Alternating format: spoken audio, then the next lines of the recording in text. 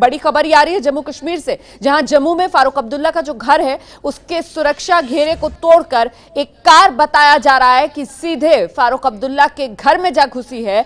फ़िलहाल और जानकारी के लिए हम संपर्क करने की कोशिश कर रहे हैं। अपने रिपोर्टर अजय बाचलू का। जम्मू में जो घर है फारूक अब्दुल्ला का, नेशनल कॉन्फ्रेंस के नेता फारूक अब्दुल्ला मुख्यमंत्री रह चुके हैं। जम्मू कश्मीर के केंद्र में मंत्री रह चुके हैं फारूक अब्दुल्ला खुद। उनके बेटे उमर अब्दुल्ला भी प्रदेश में मुख्यमंत्री रह चुके हैं। और अब खबर यह मिल रही है कि जम्मू में फारूक अब्दुल्ला के घर में एक कार घुसी है। सुरक्षा का घेरा, जो फारूक अब्दुल्ला के घर के चारों तरफ़ जम्मू में रहता है, उसे तोड़ते हुए ये कार फारूक अब्दुल्ला के घर में घुसी है। सुरक्षा घेरे को तोड़कर कार घर में घुसी है। जम्मू में सुरक्षा में तैनात जवानों ने फायरिंग भी की है इस पर। ये बड़ी जानकारी जो सामने आ रही है। अजय आपको मेरी आवाज़ मिल रही है? जी बिल्कुल रोमाना। जी बताइए क्या हुआ? है रोमाना ये भटिंडी का इलाका है जहाँ जम्मू कश्मीर के पूर्व मुख्यमंत्री डॉक्टर फारूक अब्दुल्ला रहते हैं उनका घर है और उसके साथ ही कई बड़े नेशनल कॉन्फ्रेंस के नेताओं का घर है और ये घर पूरी तरह चारों तरफ़ इसकी सुरक्षा काफ़ी है क्योंकि यहाँ पे काफ़ी वीवीआईपी लोग रहते हैं। अभी कुछ समय पहले एक गाड़ी वाहन जो है वो बार्ज हुआ है उसने मेन गेट जो इस एनक्लेव का है, वो तोड़ा है संपर्क फिर से टूट गया अजय बाचलू से हम बात करने की कोशिश करेंगे। अभी तक जितना मैं समझ पाई हूँ और आप भी समझ रहे होंगे अजय बाचलू ये बता रहे हैं कि ये जो पूरी इनक्लेव है, यहाँ पर फारूक अब्दुल्ला का भी घर है। इसके अलावा नेशनल कॉन्फ्रेंस के और बड़े नेता, कई वीवीआईपीज के यहाँ पर घर हैं और ये जो गाड़ी है, उसने इस इनक्लेव में, पहले तो जो सुरक्षा है, उसमें सेंध लगाई, सीधे इस इनक्लेव में घुसी है और जानकारी ये मिल रही है कि सुरक्षा घेरे को तोड़कर फारूक अब्दुल्ला के घर में ये गाड़ी घुसी है, जिसके बाद जो सुरक्षा में तैनात जवान हैं, उनकी तरफ़ से फायरिंग भी की गई है। हालाँकि खबर यह भी सामने आ रही है कि जब ये सब कुछ हो रहा था, उस वक्त फारूक अब्दुल्ला घर में नहीं थे। फारूक अब्दुल्ला कहाँ हैं, ये भी हम आपको बताएँगे। जम्मू में फ़िलहाल अपने उस घर में फारूक अब्दुल्ला नहीं थे।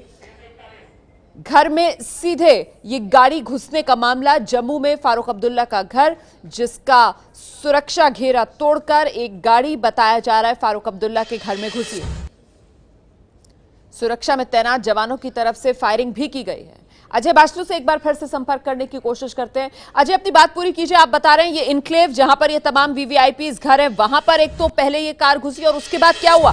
क्या फारूक अब्दुल्ला के घर में घुसी है कार? नहीं, ये जो मेन गेट है रोमा, अगर आप ये पूरा इलाका देखें तो पहले बहुत बड़ा सा एक मेन गेट आता है, जिसके बाद यहाँ पर कई मंत्रियों और फारूक अब्दुल्ला का घर जो घुसते ही दाहिनी तरफ़ है, लेकिन गाड़ी वहाँ तक नहीं पहुँची है, क्योंकि मेन गेट बारिश हुआ है और मेन गेट पर जो सीआरपीएफ और जो दूसरे सुरक्षा बल तैनात रहते हैं बीबीआईपी की सुरक्षा में, उनका एक स्टैंडर्ड ऑपरेटिंग प्रोसीजर होता है और उसी ऑपरेटिंग प्रोसीजर के तहत जब गाड़ी नहीं रुकी और एकदम से मेन गेट को तोड़कर अंदर घुसी है तो उन्होंने फायरिंग की है। बताया ये भी जा रहा है कि इस फायरिंग में जो गाड़ी का ड्राइवर है, उसको गोली लगी है और उसको गंभीर रूप से घायल बताया जा रहा है। फ़िलहाल जम्मू कश्मीर पुलिस के वरिष्ठ अधिकारी भी मौके पर पहुँच रहे हैं। हम भी मौके की तरफ़ शुरुआती जानकारी में क्या लग रहा है? शुरुआती जानकारी में निकल के क्या आ रहा है क्या आतंकवादी हमला हो सकता है या फिर ये कोई हादसा हो सकता है? जी जम्मू कश्मीर पुलिस का फ़िलहाल ये साफ़ कहना है कि फ़िलहाल इस घटना को आतंकी हमले से नहीं जोड़ा जा सकता लेकिन फिर भी इस पूरे मामले की जाँच की जा रही है हादसा बताया जा रहा है लेकिन फिर भी जम्मू कश्मीर पुलिस हर एक एंगल की जाँच कर रही है। ज़ीरो मान हर एक एंगल की जाँच कर रही है जम्मू कश्मीर पुलिस। मैं यहाँ पर करेक्शन कर दूँ, फारूक अब्दुल्ला के घर में कार नहीं घुसी है, जैसा कि अजय बाशलू ने बताया। अजय बाशलू बता रहे इनक्लेव है मतलब एक पूरा एरिया लोकेलिटी है एक, जहाँ पर तमाम वीवीआईपीज रहते हैं, और उस लोकेलिटी के एंट्री पर जो गेट था, उस गेट में ये गाड़ी घुसी। वो उसका सुरक्षा घेरा इस गाड़ी ने तोड़ा, फ़ौरन ही फायरिंग की गई और सुरक्षा जब में जो लगे जवान थे उनकी तरफ़ से और ऐसे में जो ड्राइवर था गाड़ी का, वो जख्मी भी हुआ है। फ़िलहाल जम्मू कश्मीर पुलिस जो है, वो हर एंगल से इस मामले की जाँच कर रही है। शुरुआती नज़र में ये कहा जा रहा है कि ये शायद आतंकवादी घटना ना हो। ये है एबीपी न्यूज़ आपको रखे आगे।